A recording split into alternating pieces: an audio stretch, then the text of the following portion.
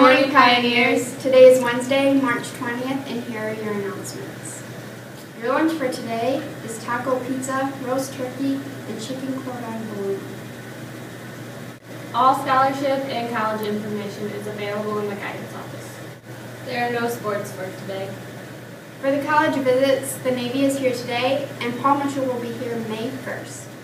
The next blood drive is on Wednesday, March 27th. You can sign up during lunch and you must be at least 16 years old. Have a great day, Pioneers!